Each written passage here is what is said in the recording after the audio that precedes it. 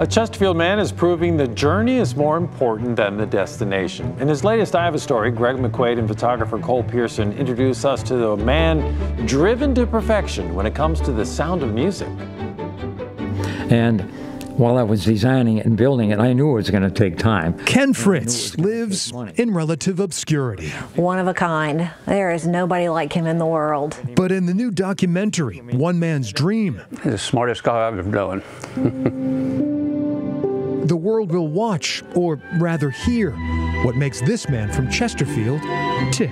I'm Ken Fritz, and I believe I've built the best stereo system in the world. With an engineer's mind and dogged determination, These are ScanSpeak 7-inch Kevlar cone drivers. Ken's dream started taking shape in his backyard 30 years ago. Now the signal to the amplifier comes from the Krell active crossovers down here. There are three of them. Just walking through the door and seeing everything, forget not even hearing it, but just seeing it, the jaw goes down to the floor. Ken's creation makes audiophiles melt with envy.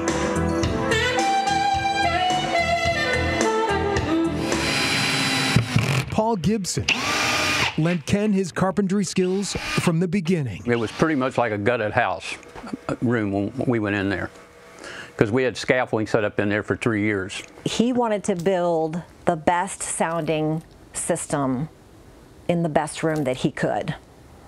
All his own. Betsy Logan can't remember a time when her father was not striving toward his goal. He built this, built everything is done himself. Everything.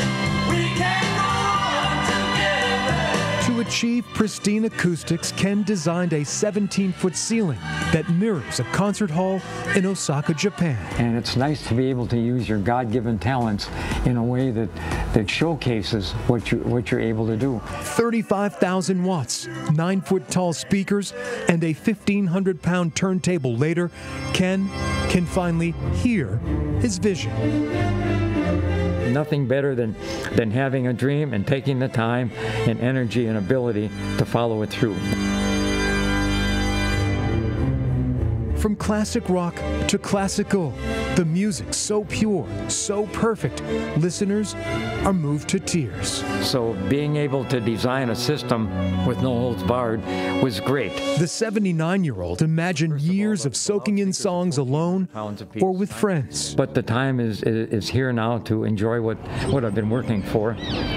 But Ken's long term plans are skipping a big beat. My right hand just felt a little weak. So I went to the doctor. He said, Well, you have ALS. You need to get your affairs in order.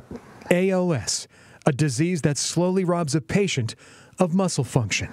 But now I can't get my arms up higher than this. Life expectancy, three to five years, and there's no known cure. It's progressive. They don't know what causes it, don't know how to stop it. Since his diagnosis in 2018, Ken's movements are slowing by the month.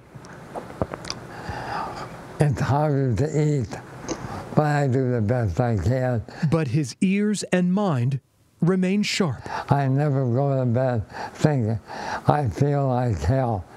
I wish today was over.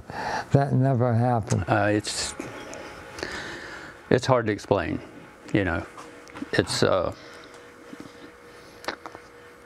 you know to uh, work all your life and get to the point where you are ready to sit down and enjoy what you've done, and then this happens. It's heart, you know, quite emotional.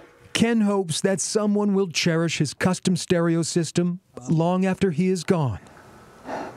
The best goals are those you work for over a long period of time.